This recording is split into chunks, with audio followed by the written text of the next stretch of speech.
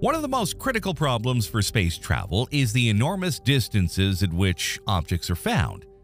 In the solar system alone, the planets are so far away that going from one another would take several years or even decades, while going to the closest stars would take centuries or thousands of years. A human being cannot carry out such a long journey, since we do not live that long. So a possible solution to the problem is cryogenic sleep or induced hibernation. This method, in which we could put astronauts into an artificial coma, putting them in capsules or chambers where they would remain asleep for decades or even centuries, and then wake up until they reach their destination. How possible is it to do this for modern science? Is there cryogenic sleep for space travel? Let's find out. How close are we to cryogenic sleep for space travel?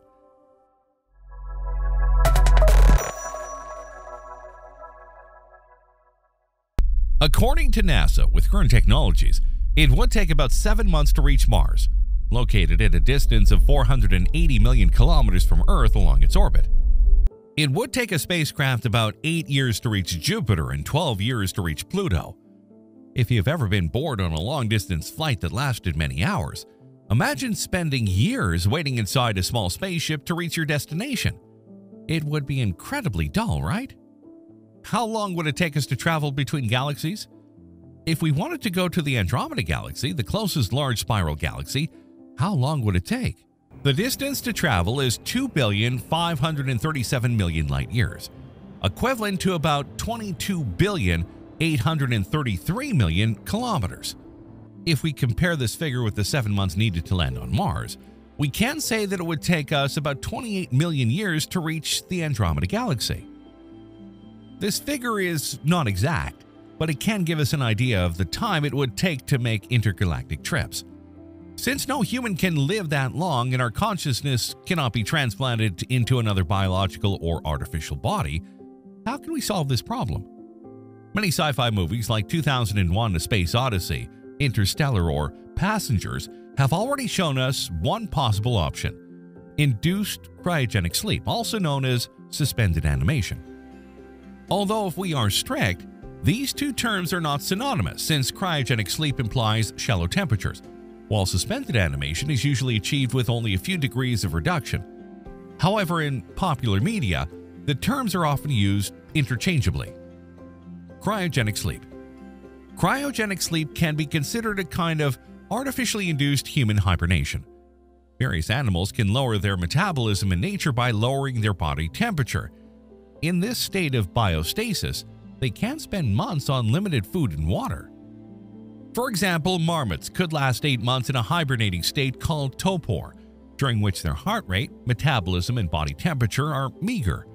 After those months, their bodies warm up and they come back to life without suffering harm. Although humans cannot decide for themselves to hibernate naturally, medical technology may be able to induce this state. Several researchers are currently studying how to make humans either something resembling cryosleep. From a medical standpoint, this could help conditions like heart disease, diabetes, and Alzheimer's. Realistically, no technology can indefinitely put a person into induced hibernation. The closest thing to that is an induced coma, but a coma is not the same as a state of cryogenic sleep.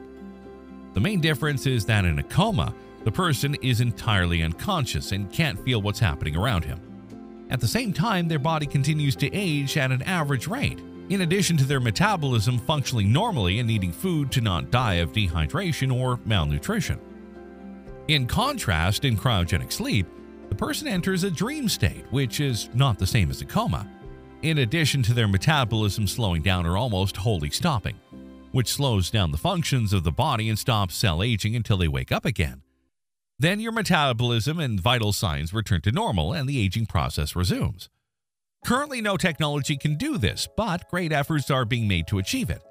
An example is the cryopreservation of organs for transplantation. In this process, the organs are cooled to low temperatures in a cryoprotective liquid that helps prevent the formation of ice crystals and other damage. Organs can be stored for long periods and then thawed for transplantation into a recipient. This technique has succeeded for specific organs such as the liver and kidneys. Another example is the cryopreservation of human embryos and ovarian tissue. For long term storage, embryos and tissue are cooled to low temperatures in liquid nitrogen. Embryo cryopreservation is a common technique in assisted fertility and has been used to preserve embryos for later use in reproduction. Ovarian tissue cryopreservation is used to preserve fertility in women who have received cancer treatment and may be an essential way to protect the fertility of female astronauts during extended space travel. Examples of cryogenic preservation. Although it sounds hard to believe, some companies are dedicated to preserving frozen human bodies to revive them in the future. These companies preserve the bodies of people who, during their lives, suffered a terminal illness and voluntarily decided that this company should preserve their bodies with the hope that in the future there will be a cure for their diseases. One of these companies is Alcor Life Extension Foundation, dedicated to the cryopreservation of whole human bodies and brains in liquid nitrogen at minus 196 degrees Celsius. The technique is performed in a vitrification process, which involves replacing bodily fluids with a cryoprotective solution before immersing the body in liquid nitrogen. The goal is to minimize any damage that may occur so that the body or brain can be revived. The Alcor Life Extension Foundation uses a vitrification technique called whole brain, which involves removing and replacing the blood with a cryoprotective solution. This solution protects the brain tissues from the formation of ice crystals, which can cause irreparable damage at the cellular level. The body or brain is placed in a liquid nitrogen tank where it is kept at minus 196 degrees Celsius. Another example is the Russian company KrioRus, dedicated to the cryopreservation of human bodies and brains. KrioRus use a similar technique. KrioRus has cryopreserved more than 80 people since its founding in 2005 and has established an international agreement for transporting and storing bodies in other countries. KrioRus is also involved in researching and developing technologies to improve cryopreservation's effectiveness and feasibility. As with Alcor Life Extension Foundation, cryopreservation of human bodies remains a controversial topic and the subject of much debate, as concerns have been raised about its feasibility and effectiveness, as well as the rights and dignity of human bodies after death. Advantages and disadvantages. Let's start with the advantages. First of all, astronauts could travel for months or years without feeling the passage of time in their bodies. Mental health is problematic when you spend so much time coping with other individuals in a confined space. This would also help the number of inputs they would require since they would need less food and water if they are asleep most of the time. By carrying less cargo, a spacecraft would consume less fuel. Another advantage is that cryosleep chambers could more effectively protect astronauts from harmful cosmic radiation. On Earth, our planet's atmosphere and magnetic shield protect us. In space, however, astronauts are exposed to radiation. Lastly, cryosleep, compared to cryopreservation, can be reversed relatively easily simply by returning the astronaut to their average temperature without harming the body. Among the disadvantages, we find the most obvious of all. This technology does not yet exist. Second, hibernation does not entirely stop aging. With advanced technology, aging could be slowed down significantly, perhaps even for centuries. However, cryosleep alone will unfortunately not allow us to travel to the Andromeda Galaxy. We might hibernate for a few decades or centuries, but not millions of years. Are there researchers trying to get cold sleep for space travel? The answer is yes. Engineers and scientists from the aerospace company SpaceWorks Enterprises are working on a project called Torpor Inducing Transfer Habitat for Human Stasis to Mars for NASA. It is about using a medical practice called therapeutic hypothermia, TH, which is commonly applied in traumatic injuries. The metabolic rate is significantly reduced by cooling the body to only 5 to 7 degrees Celsius. It decreases between 5% and 7% for every 1 degree Celsius less core body temperature. The astronauts will go several two-week cycles of suspended animations. During that time, they will receive intravenous feeding and their waste will be removed through catheters.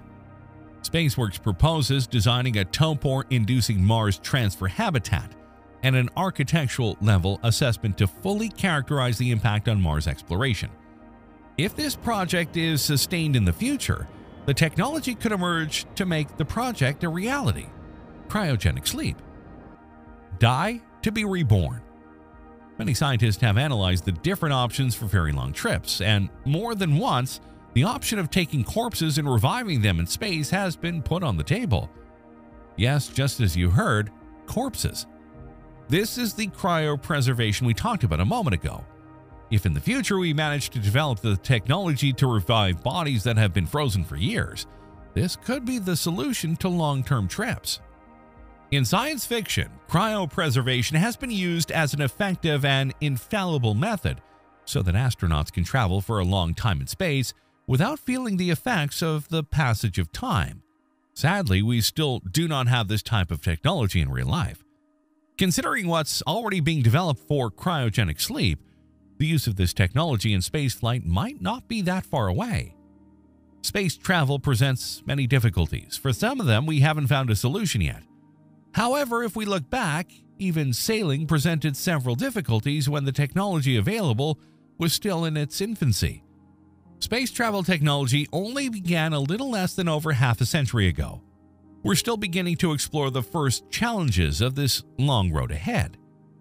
Beyond scientific limitations, cryogenic sleep for space travel also raises fundamental, ethical, and philosophical questions about the nature of life and death and the meaning of human existence.